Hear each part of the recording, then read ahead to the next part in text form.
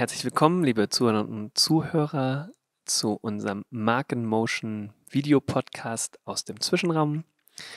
Mein Name ist Gabriel Schummeroth und heute spreche ich mit Lara Selin Erdener. Ähm, Lara ist äh, bei uns Kuratorin äh, in der Europasammlung hier am Haus und arbeitet momentan auch an einer Ausstellung, die im nächsten April bei uns eröffnet wird zum Thema Tirol. Und wir sprechen heute so ein bisschen über, was aus der Europasammlung ähm, gerade hier im Zwischenraum zu sehen ist, was hier gerade so sichtbar ist, ähm, wenn das Museum nicht geschlossen wäre und äh, wenn das Museum wieder aufmacht, dann hoffentlich zu sehen sein wird und ein bisschen über die Ausstellung und auch ein bisschen allgemeiner zum Thema Neupositionierung und ähm, was hier so im Zwischenraum passiert. Ähm, Danke für die Einladung. Genau, super schön, dass du dir Zeit genommen hast. Ich freue mich sehr. Und vielleicht können wir, genau, ähm, was ich gerade gesagt habe, vielleicht können wir damit einfach starten. Äh, die Europasammlung ist ja eigentlich gerade sehr prominent ähm, hier im, im Raum, ähm, im Zwischenraum. Und äh, sowohl im Bereich so Provenienzforschung äh, als auch so Projekte, die, die hier laufen. Vielleicht kannst du zu denen was erzählen und ein bisschen so den Hintergrund. Klar. Ja, tatsächlich ist die Europasammlung schon seit längerer Zeit im Haus eigentlich nicht mehr zu sehen. Das heißt, wir sind ganz froh, dass man wieder Objekte sieht, gerade dann eben im Zwischenraum an zwei Stellen, wie du gesagt hast. Einmal in der Vitrine Wie und Woher, die sich mit der Provenienzforschung beschäftigt. Ähm, das ist, da ist ein Objekt gezeigt, ähm, über das ich gestolpert bin, ganz am Anfang, als ich hier angefangen habe. Also ich ähm, arbeite ja die Europasammlung auf für die neue Dauerausstellung. Das ist eine meiner Aufgaben und suche eben immer auch nach neuen nach Objekten, die auffallen, die wir so noch nicht betrachtet haben, die vielleicht interessant sind. Und das Objekt ähm, nannte sich, ähm, oder ja, also nennt sich in, also noch seit, seit es reingekommen ist, eben ins Museum, äh, jüdischer Fruchtbarkeitszauber und ähm, soll als, als Amulett betitelt und es ist sehr groß, ähm, es sah aus wie nichts, was ich kannte. Ähm, ist 1942 ins Museum gekommen, also ein, während der Hochphase der Vernichtung jüdischen Lebens in Hamburg auch. Und das hat mich gleich recht stutzig gemacht, eben diese Kombination auch von Vernichtung und ähm, Fruchtbarkeit. Und ähm, wir sind im Prinzip immer noch auf der Suche. Also wir können da jetzt keine fertige Provenienzforschung präsentieren, sondern im Prinzip Fragen stellen vor allen Dingen. Und zwar ähm, was wir eigentlich relativ sicher jetzt sagen können, ist, dass es sich nicht um ein Objekt aus einem jüdischen Kontext handelt und auch nicht um ein Amulett, das, es in, das wir in der Art irgendwie anders kennen würden.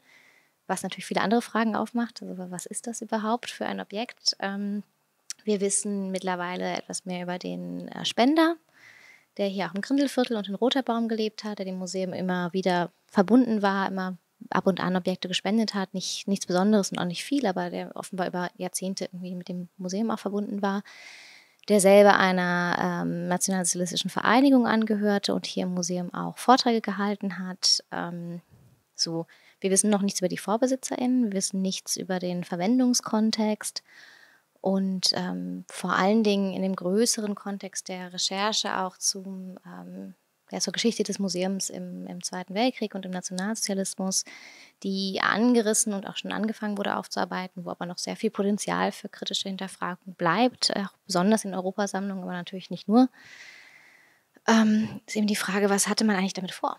Also wenn man gedacht hat, es ist ein Objekt, das mit, ähm, aus dem jüdischen Kontext kommt und mit Fruchtbarkeit zu tun hat, was wollte man daran erforschen, zu einem Zeitpunkt, wo eigentlich Judaiker und äh, jüdische Objekte aus den Schausammlungen entfernt wurden, also die nicht mehr gezeigt werden durften, auch Objekte von jüdischen SammlerInnen entfernt wurden.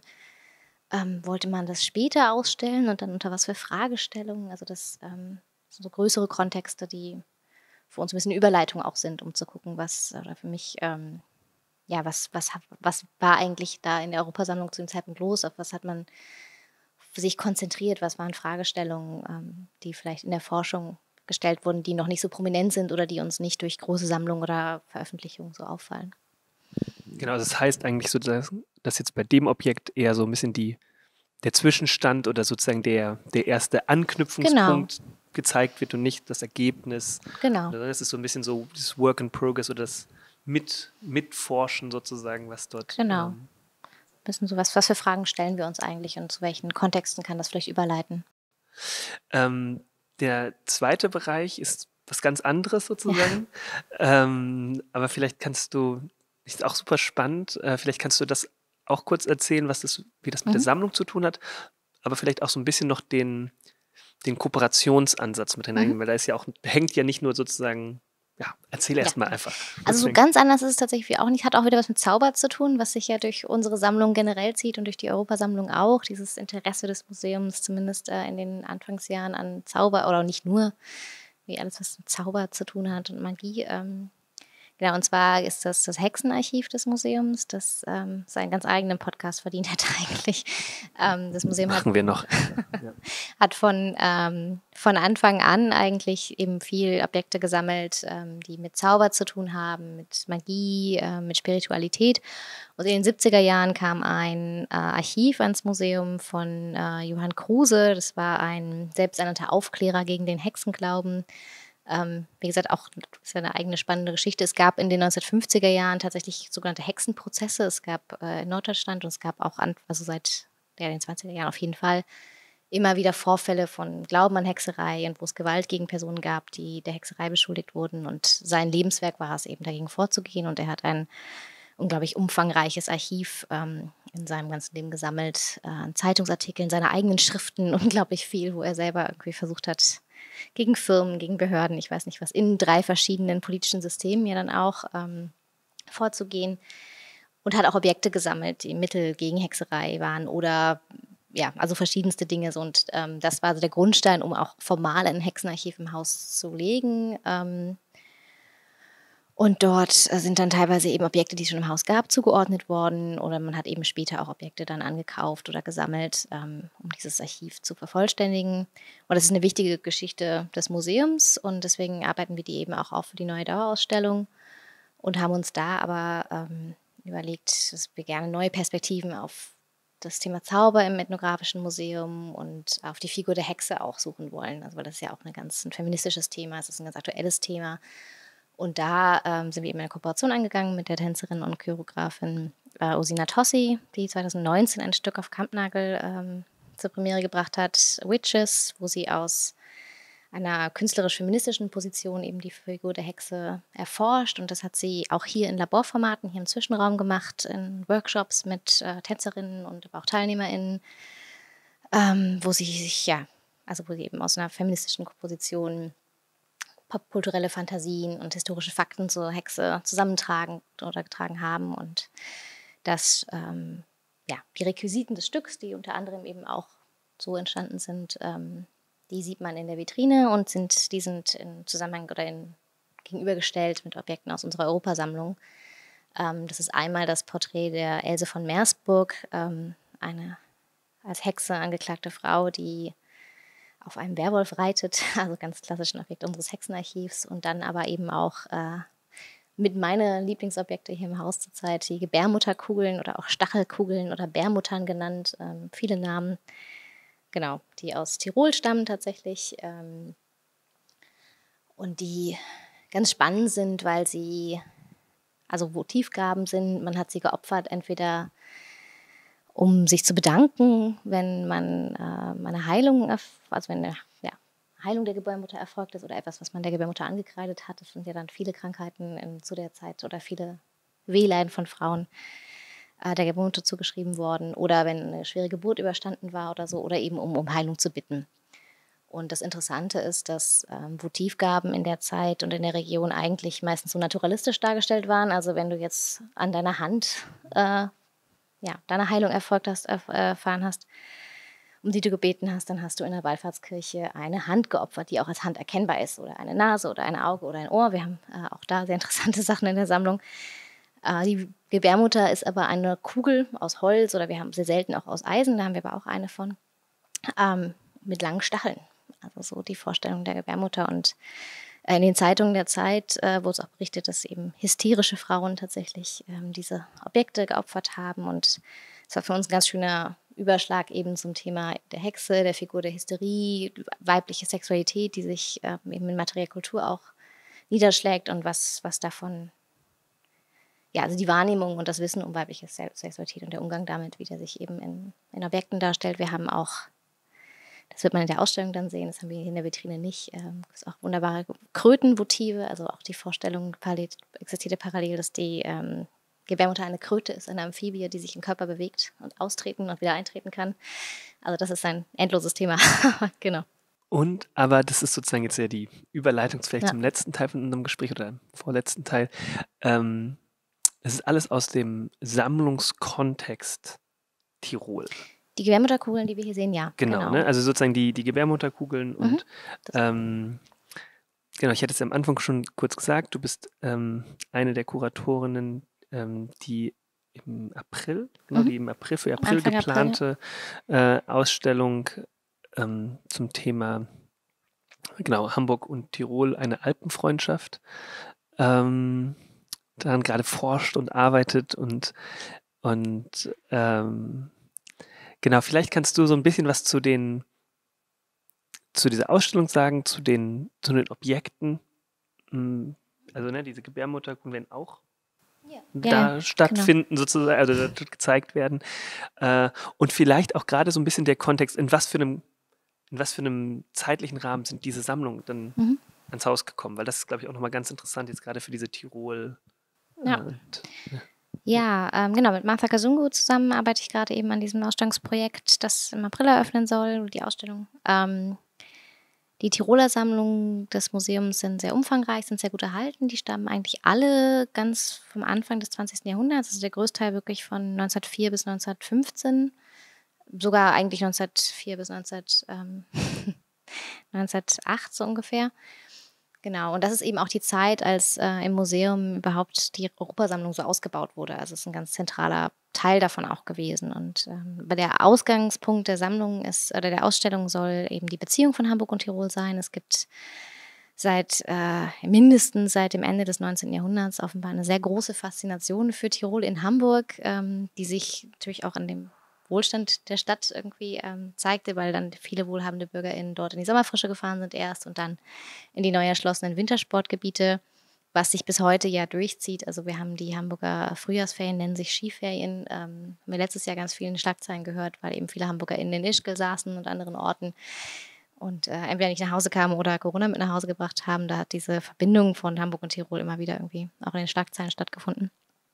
Ähm, genau, und aber auch Tiroler Restaurants, es gibt Tiroler Lieder, die immer wieder zu hören sind. Also Tirol spielt in der Stadt immer wieder auch im Stadtbild eine Rolle und ähm, das ist ein bisschen unser Ausgangspunkt, um uns eben mit dieser Sammlung zu beschäftigen, die lange Zeit nicht wirklich betrachtet wurde und auch nicht in ihrer Gänze so betrachtet wurde und die einfach wahnsinnig spannend ist aus ganz vielen verschiedenen Aspekten, weil sie, wie du sagst, eben so ein Kernpunkt oder so ein Beginn auch der, der europäischen Sammlung im Museum, also Georg Telenius, der ähm, 1904 hier als Direktor angefangen hat, ihm war ganz wichtig, dass es eine europäische Sammlung gibt.